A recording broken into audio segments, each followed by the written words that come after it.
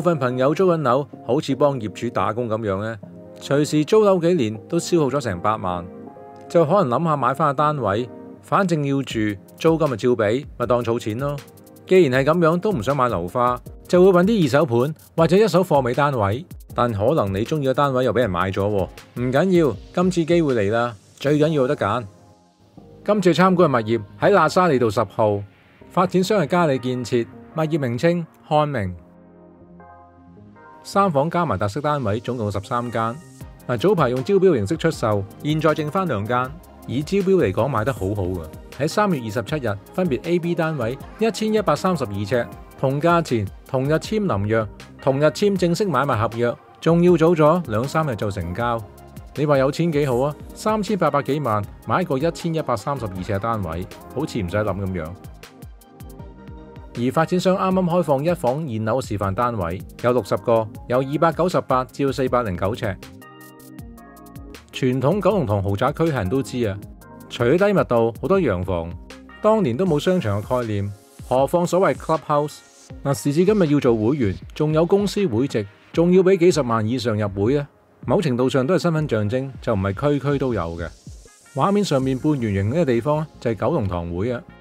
我經常都係掹衫尾跟我朋友去九龍塘會，今次就唔同啦，佢請埋我食飯，是因佢想揾我幫下眼，約咗經紀睇示範單位。當佢揸車入去，經過大閘，你眼前好多平行四邊形嘅構圖，行近啲睇，全部都係意大利石材，块块切割得非常之精准。嗱，點解我講值得去欣賞呢？並非標準尺寸，每一塊都係特別訂造，包括地下大堂同埋二樓 clubhouse，每一條柱都係。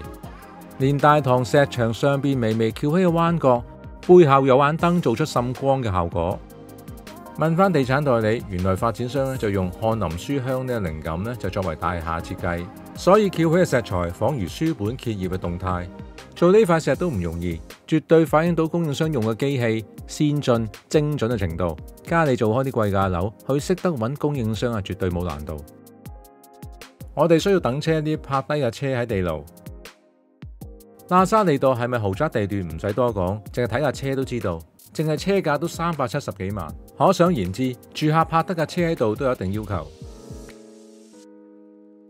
我先參觀一個四百零九尺一房單位先，睇現樓示範單位最實際啊！即時感覺到廳大房大，擺放真實嘅家私，更加令我清楚距離感。兩個唔同即係一房單位，我最中意呢個，因為廚房同浴室都有對頭窗，主人房有轉角窗，視野更加寬闊。入場衣櫃亦都係交樓標準，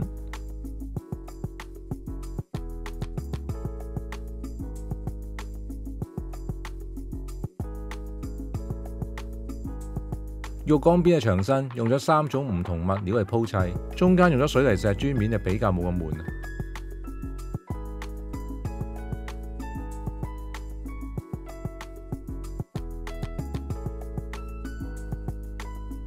帶大家參觀多一個 B 單位，實用面積三百二十二尺，洗手間係黑廁設計。如果想愛翻名次，就要揀翻頭先個四百零九尺個單位。所有嘅一房單位，客飯廳嘅冷氣出風位用上比較貴價樓嘅處理方法，同樓上大單位睇齊。入場衣櫃隨樓附送，冷氣機出風位都隱藏翻喺衣櫃裏邊。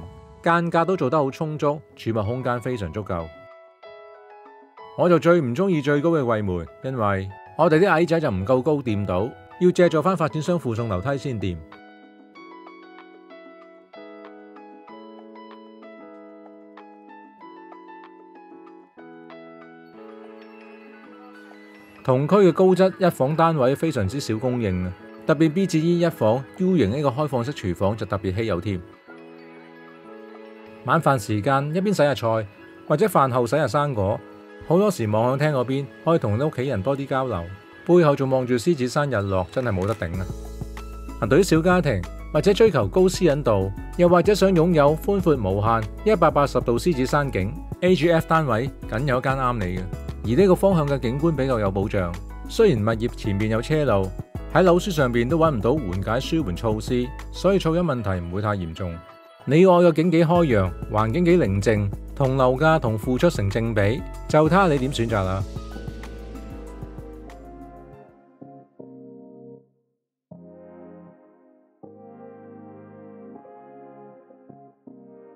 近年都見到物業附近幾條街嘅舊地重建，都越嚟越明顯。發展商盡量都有咁高起咁高嘅，好似太子道西嘅兩旁大廈，如果越起越高，行車所產生出嚟嘅噪音就會反射去左右兩旁嘅玻璃幕牆大廈而向上升。加上呢條主道路有成五六條行車線，噪音只會有增無減。就算日後同區重建，好似呢個項目咁樣，單邊望向獅子山，仲有一百八十度景觀，極為罕見。一聽到喇沙利道咧，都聞到書卷味濃啦。直望係喇沙書院，斜望喇沙小學，望遠啲係 Marylock 中小學都有。小學三十四號，中學就九龍城校網區，國際學校遍布周圍就唔再講啦。對於喺度住嘅中小學學生，享受到書卷味氛围作用。如果父母要接送返學，行個街口就到。自從屯馬線通車之後，除咗九龍塘站，又多一個宋皇台港鐵站選擇。B 二出口應該最近嘅，嚟緊十五號全線開通，要去灣仔北，例如會議展覽中心，我就會揀條新線。未行到宋皇台站，幾分鐘就行到九龍城，生活配套成熟，佳肴美食應有盡有。看明位置真正正宗大王。我朋友叫我陪佢一齊睇樓，最重要一個原因就係買品牌。由於嘉里做開貴價精品項目，物管就用翻自家嘉里管理服務有限公司。冇做外判，自己管翻比較直接，起碼嘉里都想鞏固翻自己品牌。據我所知，一房單位已經開價，对于佢嘅消情，我系拭目以待啊！睇下第时有冇机会拍一条收到片俾大家睇下。如果条片都帮到你，记住分享俾你身边嘅朋友啊！欢迎订阅埋，下晝新片你就唔会错过。跟住落去呢条片都可能啱你睇噶。